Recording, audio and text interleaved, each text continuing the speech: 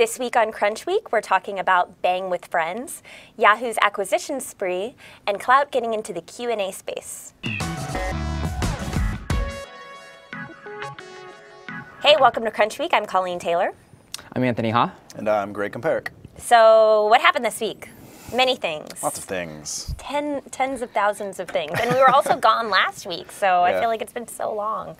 So many things to talk about. Yeah, Happy to so be back in San Francisco. Good to be back. I think I think one thing that happened is Bang with Friends launched on mobile. Everyone's really excited about that. Mostly, Which is really the mostly environment that it's meant for, I would say. dudes.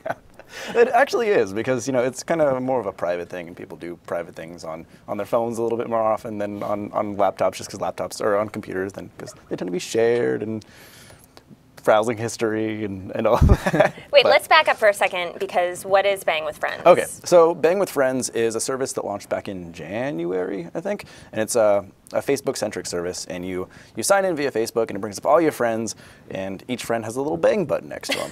and you touch the Bang button, and then if your friend also happens to be using Bang with Friends and touches that little Bang button, it connects the dots and says, "Hey, you guys should hang out."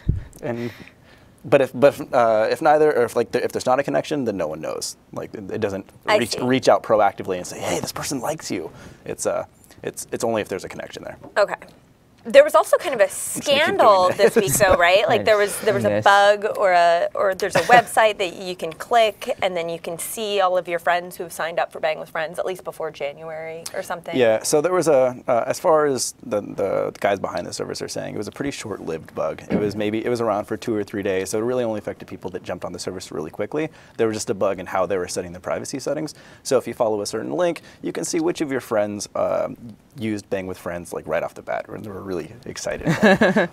But it- there's a certain layer of deniability. We're like, I just, you know, I, I didn't see it as, you know, about banging, or you know, I just wanted to check it out, you know, because Yeah. I'm just trying to try it I just out. wanted to see the, the, the user experience the user experience. Right. Make- That's make right. sure well, that's good how it is. Like on like half, you know, like when like these like dating apps like launch, and you're just like half the people are like, I'm just here to like you know check it out. And you're like, great, cool, well, thanks. Yeah. But it, it works. It's plausible deniability because a lot of these Right. apps actually have really good design, like Tinder or whatever it is. That's, Right. It's a pretty app. Right. Yeah. What I want to know is you because you've talked to these founders of Bang with Friends. Yeah. So what is the what are the stats? How many people are actually in real life hooking up as a result of this app? Because when I click on the link to see who of my friends is actually using Bang with Friends, it just seems to be a lot of tech reporters and maybe people who were curious. Yeah, for sure. So uh, apparently, about a million people have signed up. I don't know how many of them are active, and I think that's kind of important. But it's not really a service that you're going to be using every day. You're like, oh, I, I do want to bang them. Let me go back and log in. Uh, it's, it's one of those services that you set it, you forget it, and then eventually you hope that you know there's a connection. I'm doing it again, a connection there somewhere. Uh, but so there's a million users or so, and they've made 200,000 connections. So do you think that Bang with Friends is like a novelty that's gonna like disappear in a couple months, or do you think it's gonna become like a real company? I think it'll kind of change into something more serious. I think they'll uh, turn into like a, a broader, like a, a more of a broad service than just banging. But you can be pretty broad. Wow, we're being super mature right now. Well, this is It's kind of a hard word topic to that they be- use. I mean, Yeah. you know, it's it's so straightforward. It's not like Yeah. oh, like dinner with friends, like Yeah. date with friends. It's like But getting it- straight to the point. in the mobile app, they did introduce uh, instead of just so there's always been the down to bang button, but now there's also a up to hang button. So with people that you just want to uh, you want to keep in the friend zone, you can you can hit the up to hang button, and that's one of the, that's an example of them trying to be a little bit more broad. But at the same time, it kind of like deviates from the original topic. It's like I already know which of my friends I want to hang out with, and they already know because Right. I, I hang out with them. right. I don't need to like have this like secret, you know, furtive kind of thing. yeah. Yeah.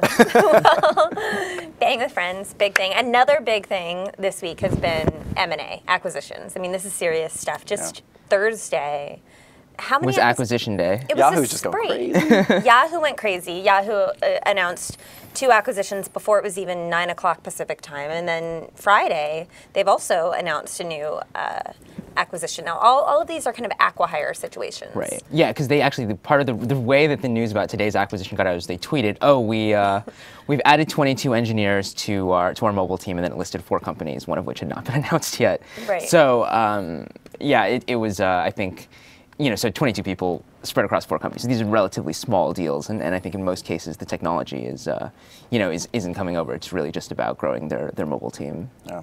Yeah, Josh Constine wrote an amazing post. I think it's a really great post Yeah. on Thursday called uh, "As Tech Giants Scramble for Talent, It's Buy or Die," and I really liked his slug, like the URL. It says because the best never apply, and I think this is true when it comes to at least engineers. I mean, you know, these guys and girls are starting startups, or maybe they apply to a few select, you know, maybe they'll apply for a job at Facebook or at Twitter or Google, but they're not going to necessarily apply for a job at Salesforce or at Yahoo yet. So, you know, this is the way that they're getting engineers. Yeah, yeah. I think. Well, I also liked uh, what what Darrell Etherington. Uh, he he didn't post this on the site, but he did say this in our chat room that uh, after today's news, he said, "Well, this isn't this isn't an acquisition; it's a job fair." I like that. He should have posted he that on the posted site. that. Yeah. He should at least tweeted it. We should be putting more of our internal chat messages on the site. But um, But so far, they've grabbed Stamped, Snip.it, Astrid, Jibe, On the Air, and today, or yesterday was MileWise and Go Pull Go, Go Pull Pull Go, Go, yeah. and then today was Loki. Loki Studios, yeah. It's just nonstop. Yeah, and I mean, you know, I think it is, you know, part of like, like, you know, I think Marissa Mayer said that that the, her focus with Yahoo, you know, especially for those first few months, was really just all about talent, and Yeah. so, you know, this seems like a pretty natural extension of that.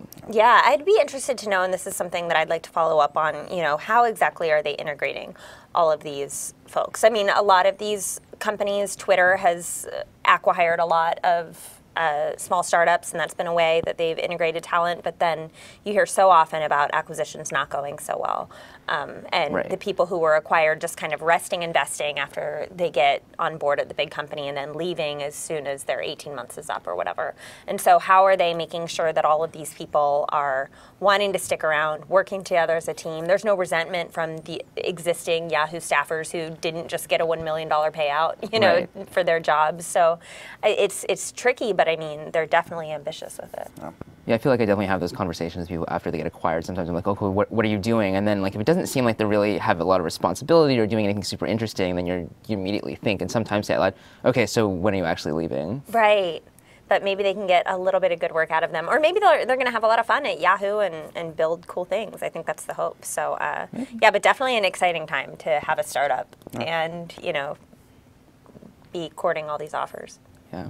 Uh, what else? So I think we, uh, the third piece of news we wanted to talk about was Klout, um, as a startup that I think everyone kind of likes to complain about. um, and uh, although you know everyone, I think everyone's sort of aware of their Klout score, right? Like for example, I I did look earlier and, and I saw that I have you know like ten points higher than either of you. But I mean that's not a big deal or anything. Mine it's is not a big deal. mine Wait, is let's seven talk- seven billion is my Klout score. Wait, what, did you really just look? I, I did look What are our over- Klout scores? What's I think Klout one score? of you, is- you were both in the low 60s, Ooh, is that and bad? low 70s. MG's like at 80 or yeah. How, what's the highest? 100? yeah, 100. Okay. Bieber okay. is 100. I'm in the low 60s. Well, you haven't connected your Facebook. This, this is how they get you: is that um, you have to connect different social networks to it, and then they'll start measuring it, and they'll add, and that'll, you know, if you add Facebook, your score will go up. So like Oh. I, ac- I accidentally dis- disconnected Facebook for a little while, and my score went down, and then I had to reconnect it. Not that I pay attention to such things. Okay. Well, I'll be I'll be doing that. Anyway, so that's that's talking. that's the sort of ongoing Klout. But so so the, the news this week was that um, they announced a feature called Klout Experts, um, which is basically the idea that they're you know you've got your overall Klout score, but also that they're trying to track your influence in specific topics. And so if you're influential about tech, say, then you might log into Klout.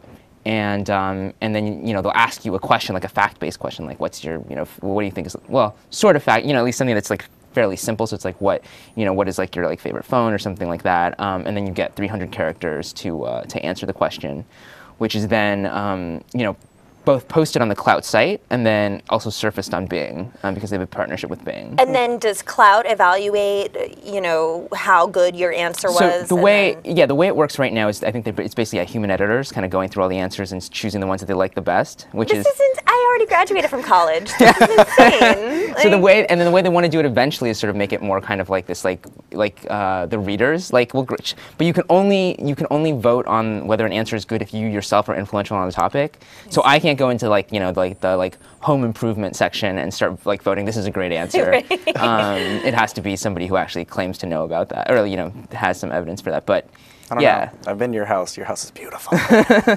that's uh, that's true true Bob Vila. I remember you being there, so that's kind of creepy. That's good, good.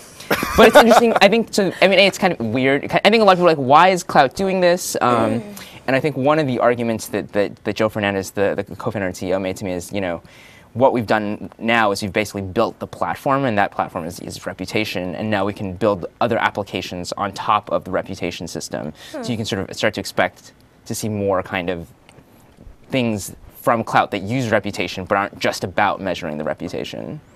I could see it being addictive in the same way that people are addicted to finding out their Klout score. Like, right. obviously, I personally am not super up on it, but I know a lot of people who they joke about it, but they also are very self-conscious about their Klout scores, right. and they actively try and game it. And I mean, it's a game, and, and it can be addictive. It's yeah. a kind of a smart partnership for both of them. Uh, it's good for Bing just because it's a good way for them to differentiate from Google. Because a lot of the times when you type a question into Google, it surfaces Yahoo answers, which aren't necessarily the best answers, but right. there's, there's, content there. Right. Uh, so for for Bing to be jumping on this, like it's at least theoretically them being able to say, look, we have a really good answer from people who know what they're doing, and Klout's like, our scores mean something now.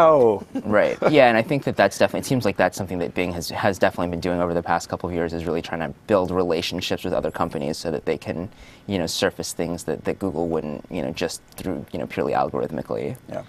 Um, so you know, I mean, I still don't use Bing that much, but it seems like a smart strategy at least. Right. Yeah. That's it's good to see Klout is still you know around and uh, you know because like you said they've they've come under a lot of criticism. A lot of people you know haven't liked it, and when scores change quickly as they change their algorithms. There's been a lot of criticism of Klout, but right. they're still around. And right. And I mean, I do think that actually, you know, that the criticism isn't necessary. I mean, there's some stuff where it's like privacy related where I think that's a real problem for the company, but I think in some ways, I mean, any reputation system, you're just going to have a lot of people complaining about it. So, I mean, if, given what they do, the fact that everyone's complaining about it is, you know, arguably a good thing. Right.